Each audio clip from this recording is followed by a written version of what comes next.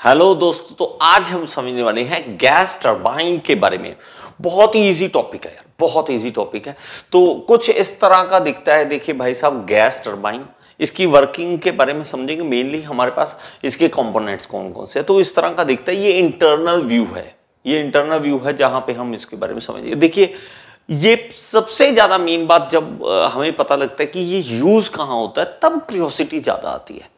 Use कहाँ होता है तो वो हम पहले देख लें ताकि हमें थोड़ा सा पता लगे। देखिए, आप देखोगे तो प्लेन के साइड में जो बड़ा सा लगा होता है ना, ये भाई साहब गैस टर्बाइन लगी होती है। ये गैस टर्बाइन लगी होती है जो क्या इसको प्रोपेल करती है, आगे की ओर धक्का देती है। ठीक है एक्चुअली एक्शन पीछे की ओर रिएक्शन हमें आगे मिलता है, जहाज़ आगे चला जाता है और एरोप्लेन आगे की ओर चला जाता है। इसमें भाई साहब बहुत सारी बड़ी बड़ी टर्बाइंस लगी हुई हैं। तो उसकी हेल्प से मतलब हमारे पास गैस है एक तरफ़ और टर्बाइन है। गैस टर्बाइन को मूव करती है। उसकी हेल्प से हमें यहाँ पे प्रोपल्शन मिलता है। तो ये बात थोड़ी समझ आई। अब हम धीरे धीरे आगे बढ़ेंगे और चीज़ों को भी समझेंगे। यहाँ पे समझ आ जाएगा ज़्यादा।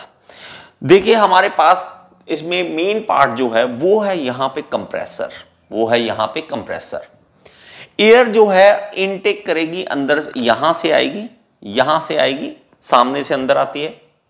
तो ये लगा लीजिए ये एरोप्लेन का आगे जा रहा है और यहाँ से जहाज़ से अंदर आ रही है, एयर अंदर आ रही है सामने से। और ये जो कंप्रेसर है, ये हमारे पास एक तरह से ब्लेड्स हैं और ये कंप्रेस कर रहे हैं एयर को। एयर को कंप्रेस क्यों कर रहे हैं? भाई साहब, हमने उस एयर को यूज़ करना है। कहाँ पे यूज़ करना है? वो यूज़ करना है कंबस्टन चैम्बर में। कंबस्टन चैम्बर का मतलब क्या है? यहाँ पे अब एयर क्या आई? कंप्रेस होकर। कंप्रेस होकर एयर आई और इसके अंदर फ्यूल आया। फ्यूल और एयर हमारे पास आई तो भाई चिंगारी चाहिए उसको एक। ठा तो ब्लास्ट होगा वहाँ पे। और वो ब्लास्ट क्या करेगा? इस टर्बाइन को घुमाएगा। टर्बाइन को घुमाएगा और एग्जॉस्ट गैसेस जो है वो यहाँ से बाहर निकल जाएँगी। और वो एग्जॉस्ट गैसेस जब पूरी स्पीड से बाहर निकलेंगी तो एरोप्लेन आगे की ओर चलेगा। तो हमारे पास ये नहीं कि सिर्फ़ एरोप्लेन में हम जहाँ पे पावर जनरेशन करना चाहते हैं तो वहाँ पे गैस टर्बाइन यूज़ की जा सकती है। तो कोई प्रॉब्लम नहीं है इसमें। ठीक है, वो अलग अलग है कि फ़ायदा क्या है, नुकसान क्या है, कहाँ यूज़ कर सकते हैं। हाँ नहीं, वो अलग, मैं अलग एक टॉपिक होगा।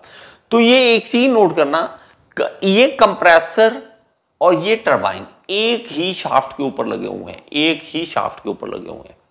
तो भाई साहब, क्या हो रहा है?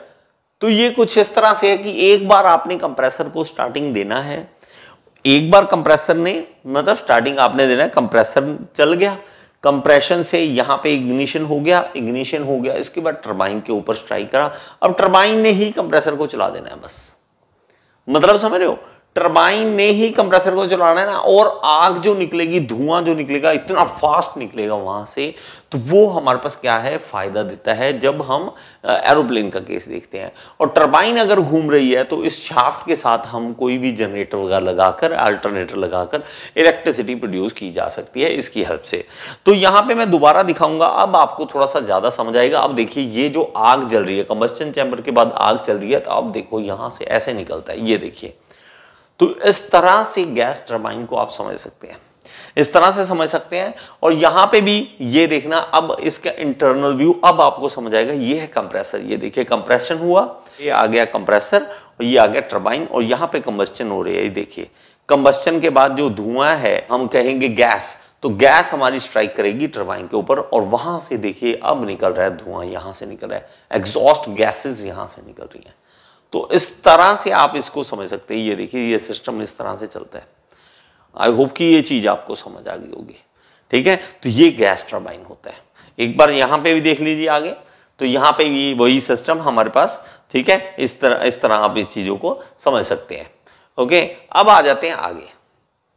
अब इसमें जो टर्बाइन में, हमारे पास गैस टर्बाइन में यहाँ पे दो तरह के सिस्टम आ जाते हैं। एक होता है ओपन साइकिल ओपन साइकिल क्या है?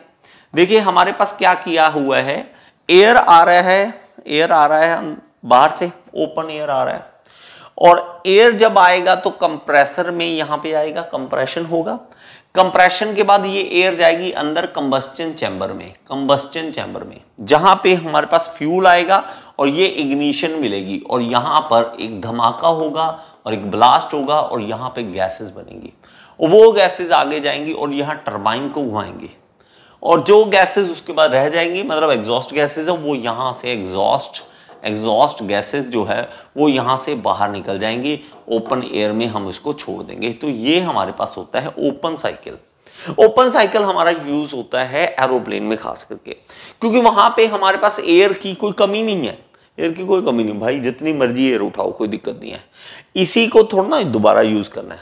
इसी को यूज़ करने की ज़रूरत नहीं है हमें। तो ये ओपन साइकिल आ जाता है। तो बात थोड़ी सी समझ आ गई होगी आप, आपको। ठीक है? सिंपल है ये बात। अब देखिए हमारे पास ये सिस्टम जो है इसके अलावा दूसरा आता है क्लोज सिस्टम। तो मैं आगे चलता हूँ और इसका भी या इसी को हम यूज़ कर लेते हैं। इसी को हम यूज़ कर लेते हैं और हमारे पास आ जाएगा। ठीक है? यहाँ पे आ जाएगा। तो इसको हम यहाँ रख लेते हैं और इसका भी एक कॉपी बना लेते हैं। तो यहाँ आ जाएगा और इसको हम यहाँ रख लेते हैं।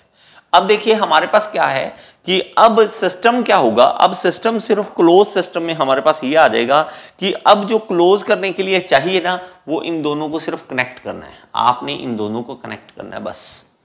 मतलब जो एग्जॉस्ट आ रहा है, हमारे पास गर्म हवाएँ आ रही हैं, गर्म एग्जॉस्ट आ रहा है, उसी को हम यहाँ पे कंबस्टन के लिए यूज़ कर रहे हैं। मतलब हमारे पास उसमें क्या कर रहे हैं? हम इसको यूज़ कर रहे हैं, उसी साइकिल में रख रहे हैं उसको।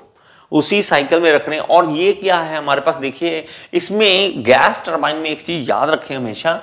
गैस टरबाइन में आप चीज़ याद रखेंगे। क्या? कि इसमें कोई भी फ़ेज़ चेंज नहीं होता। कोई भी फ़ेज़ चेंज नहीं होता। फ़ेज़ चेंज कौन कौन से वाले में होता है? फ़ेज़ चेंज जैसे कि स्टीम टरबाइन है। तो थर्मल पावर प्लांट में आप देखोगे तो रैंकाइन साइकिल में अगर आप देखोगे तो वहाँ क्या है, पानी से पहले स्टीम बन रहा है स्टीम से फिर पानी बन रहा है, इधर चलता रहता है, इसी तरह चलता ना तो इसमें नहीं, इसमें तो हमारे पास जो फ़ेज़ है, वही रहेगा, क्योंकि गैस है तो गैस ही रहेगा हमारे पास। तो ये जो साइक सिस्टम है, इसके अंदर हमारे पास क्या आता है ओपन साइकिल और ये आ जाता है क्लोज साइकिल क्लोज्ड आ जाता है क्लोज्ड ठीक है? तो ये बंद है। लेकिन एक चीज़ बहुत खतरनाक है यहाँ पे, वो है कि भाई साहब, जब यहाँ से गैसेस आएँगी तो वो क्या होंगी? एक्सपैंड तो एक्सपैंड लाइक क्या है कि हमारे पास गर्मी, गर्म बहुत ज़्यादा हो जाएँगी। और गर्म जो चीज़ होती है भाई साहब, उसका वॉल्यूम होता है ज़्यादा। उसका वॉल्यूम आपको पता ही है, जैसे देखिए, जैसे जैसे कोई चीज़ गर्म करते हैं तो उसका वॉल्यूम बढ़ता है। अगर वॉल्यूम हम बढ़ा हुआ यहाँ पे देंगे तो भाई साहब, इस कंप्रेसर को, उसको कंप्रेस करने में ज़्यादा दम लगेगा। अगर मेरे पास इतना वॉल्यूम है, इसको मैंने कंप्रेस करना है इजी यहाँ से यहाँ। अगर मेरे पास इतना वॉल्यूम है तो यहाँ से यहाँ लाने में कंप्रेस करने में टाइम लगेगा। ज़ोर ज़्यादा लगेगा तो भाई साहब कंप्रेसर की जान निकल जाएगी। तो हमें क्या करना पड़ेगा? हमें यहाँ पे इसको ठंडा करके यहाँ पर लाना पड़ेगा। तो बीच में हम क्या करेंगे? यहाँ पर इसका हम एक्सचेंजर लगाएँगे हीट एक्सचेंजर लगा देंगे। क्या लगा देंगे? हीट एक्सचेंजर लगा देंगे, जो क्या करेगा, इसमें से हीट जो है वो निकाल के बाहर फेंक देगा। हीट गर्मी जो है वो निकाल के बाहर फेंक देगा ठंडी हो जाएगी चीज़। ठंडी जो होती है भाई साहब एयर उसका वॉल्यूम कम होता है। अब कंप्रेसर को काम करना आसान हो जाएगा। बात समझ आई? तो अब काम करना आसान हो जाएगा। तो इसके जो हमारे पास पीवी डायग्राम और टीएस डायग्राम दोनों बहुत इंपॉर्टेंट है यहाँ पे।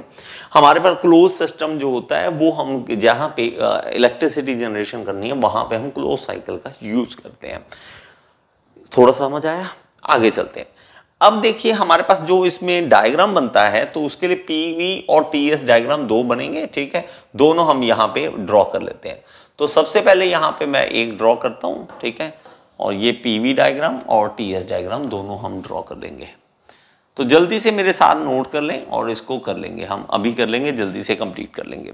ओके तो यहाँ पे सबसे पहले पीवी डायग्राम और यहाँ पे ये T S diagram T S diagram temperature और एंट्रोपी के बीच का डायग्राम ओके तो स्टार्ट करते हैं, जल्दी से लिख लीजिए इसको। तो आपको क्या करना है, एक बार ध्यान से देखना तो मैं आपको यहाँ पे समझा देता हूँ।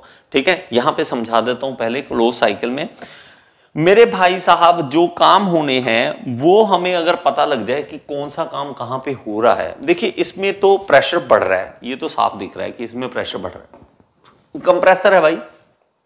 काम क्या है? प्रेशर ही बढ़ाना है। और यहाँ पे प्रेशर कम हो रहा है। प्रेशर कम हो रहा है। तो ये जो कंप्रेशन और हमारे पास टर्बाइन में एक्सपेंशन है, ये दोनों आइसेंट्रोपिक प्रोसेस होगी। आइसेंट्रोपिक।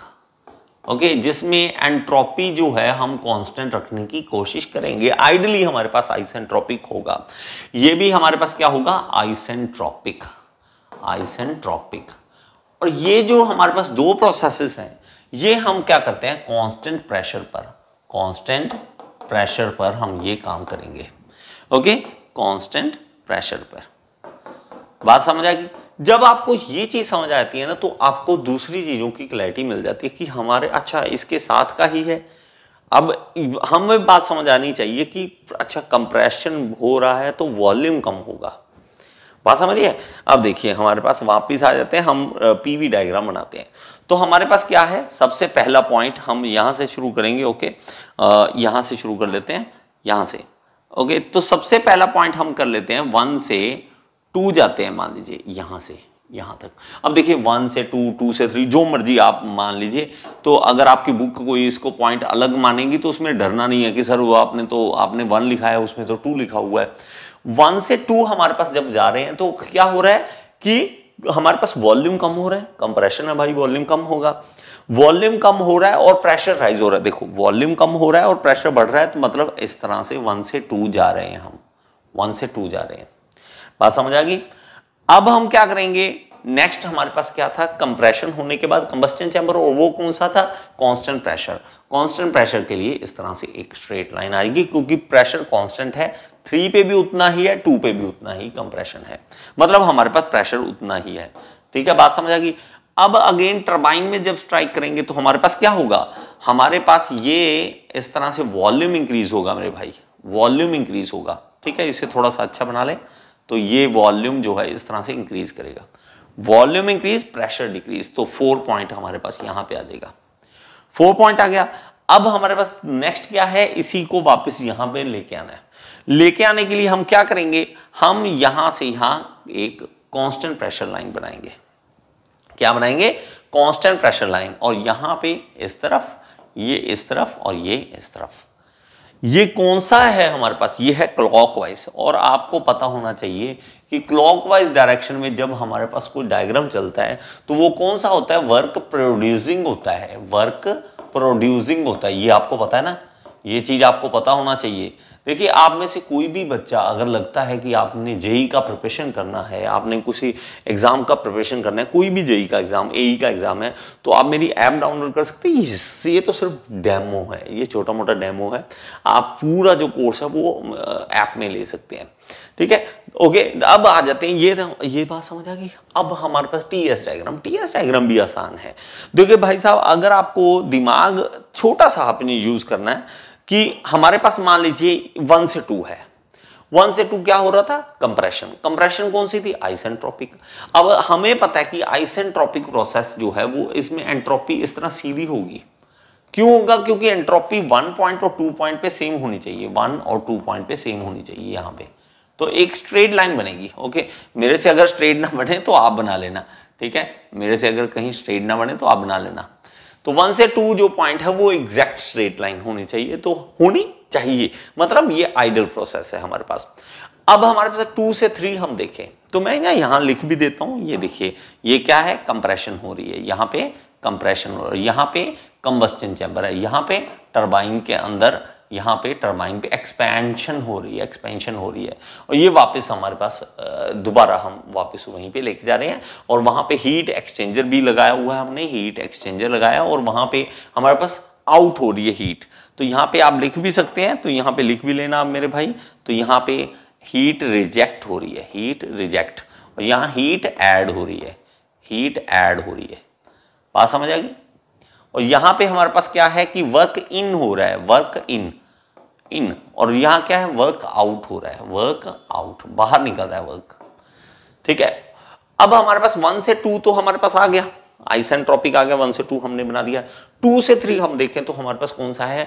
कि कांस्टेंट प्रेशर वाला। अब कांस्टेंट प्रेशर वाले को बनाने के लिए हमारे पास क्या आएगा? तो इसको इसी से बना लेते हैं। तो यहाँ पर इस तरह से जाएगा। ऊपर की ओर। तो उसमें क्या होगा कि हमारे पास अचानक से कंबस्टन चैम्बर में अचानक से टेम्परेचर बहुत राइज होगा और एंट्रोपी भी इंक्रीज होगा उसका। और दूसरा हम इसमें केस में आ जाते हैं और दूसरा हमारे पास क्या है? यहाँ पे आ जाते हैं और आगे क्या है? टू से थ्री आने के बाद थ्री से फोर थ्री से फोर तो थ्री से फोर हमारे पास क्या है? ये देखिए टर्बाइन में। टर्बाइन में हमारे पास ट्राई करते हैं तो आइसेंट्रोपिक तो थ्री से फोर हमारे पास आ जाते हैं। ओके लास्ट रह गया और लास्ट हमारे पास इसी तरह आ जाएगा। भाई साहब, ये हम इससे बना लेते हैं। जी तो ये हमारे पास इस तरह से आ जाएगा। तो ये कलर शायद दिख नहीं रहा होगा आपको तो मैं किसी और कलर का यूज़ कर लेता हूँ। तो ये हमारे पास इस तरह से आ जाएगा। तो ये हमारे पास पीवी और टीएस डायग्राम बन रहे हैं। वन से टू हमारे पास फिर से मैं लिख देता हूँ एक बार। तो यहाँ पे कंप्रेशन हो रहा है। आइसेंट्रोपिक कंप्रेशन हो रहा है। आइसेंट्रोपिक कंप्रेशन हो रहा है। और यहाँ पे कंबस्टन चैम्बर में हम हीट ऐड कर रहे हैं। हीट ऐड कर रहे हैं इन दे रहे हैं। और यहाँ पे क्या हो रहा है कि यहाँ पे Q out sorry work out हो रहा है। यहाँ पे क्या है? वर्क आउट हो रहा है। तो यहाँ पे टरबाइन है टरबाइन और यहाँ पे क्या है हमारे पास? यहाँ पे हीट आउट हो रहा है आउट रिजेक्ट हो रहा है हमारे पास। और ये हीट एक्सचेंजर है। यहाँ पे क्या है? वर्क इन हो रहा है वर्क इन हो रहा है। तो ये हमारे पास पीवी और टीएस डायग्राम प्लीज़ इसको बना लीजिए। और अगर आपको ये चीज़ समझ आई है तो एक बार कमेंट बॉक्स में बता दो यार। कुछ जाता तो नहीं है बिगड़ता तो नहीं है। एक बार ज़रूर बता दो ताकि मुझे भी पता लगे कि मेरी समझाई हुई चीज़ आपके आ, सीधा दिमाग में घुस रही है कि भाई घूम गंग के कहीं से आ रही है। ठीक है? मेरी वीडियो आपके हेल्पफुल होने चाहिए, तभी मज़ा मुझे आएगा। और यहाँ पे मैं लिंक दे रहा हूँ, आपकी ऐप डाउनलोड कर सकते हैं आप। ऐप डाउनलोड जो करेंगे, उसमें आपको सारे कोर्सेज मिल जाएँगे। आप मेरे पास जेई की तैयारी कर सकते हैं। Thank you so much next video में फिर से मिलेंगे।